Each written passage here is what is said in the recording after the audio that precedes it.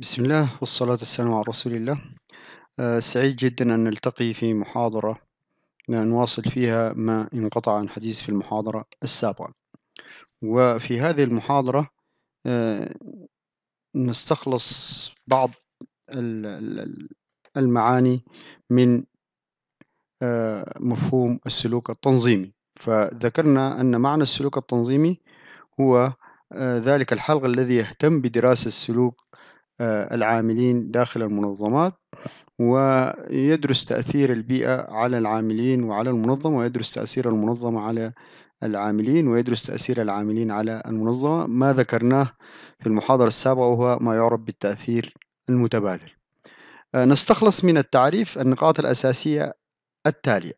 أولا بجانب التنظيم الرسمي يهتم السلوك آه، التنظيمي بالأفراد والمجموعات أي يهتم بدراسة سلوكهم واتجاهاتهم. لأننا ذكرنا في التعريف أن أن السلوك التنظيمي يهتم بدراسة التنظيم الرسمي والتنظيم الرسمي يقصد به العاملين وجود العاملين داخل المنظمات في آه، صورة صورة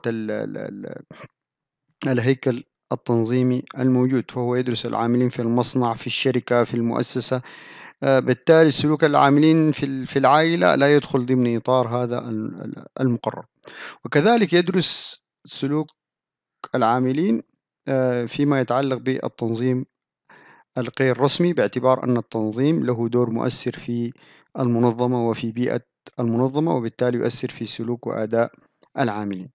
وكذلك يدرس مدى تأثير العاملين على التنظيم وكفاءته وعلى تحقيق الأهداف ويدرس تأثير آه، إذا تأثير التنظيم آه، على سواء كان رسمي أو غير رسمي على العاملين ويدرس تأثير البيئة على سلوك العاملين ويدرس تأثير العاملين على المنظمة وهذا عينه ما ذكرته في المحاضرة السابقة فيما يعرف بالتأثير المتبادل.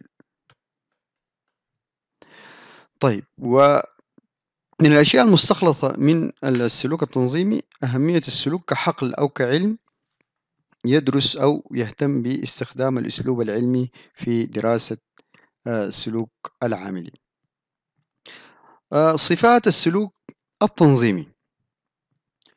بصفة عامة السلوك التنظيمي هو طريقة للتفكير وهو مجال معرفي يغطي عدد من الموضوعات الأساسية لأننا قلنا هو حقل أو علم.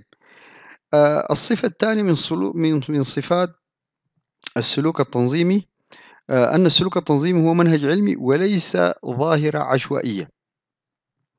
فالسلوك التنظيمي له علم له نظرياته له مبادئه في آه، كيفية دراسة السلوك الإنساني.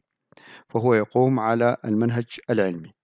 الصفة الثالثة من صفات السلوك التنظيمي يركز على سلوك العاملين داخل المنظمات.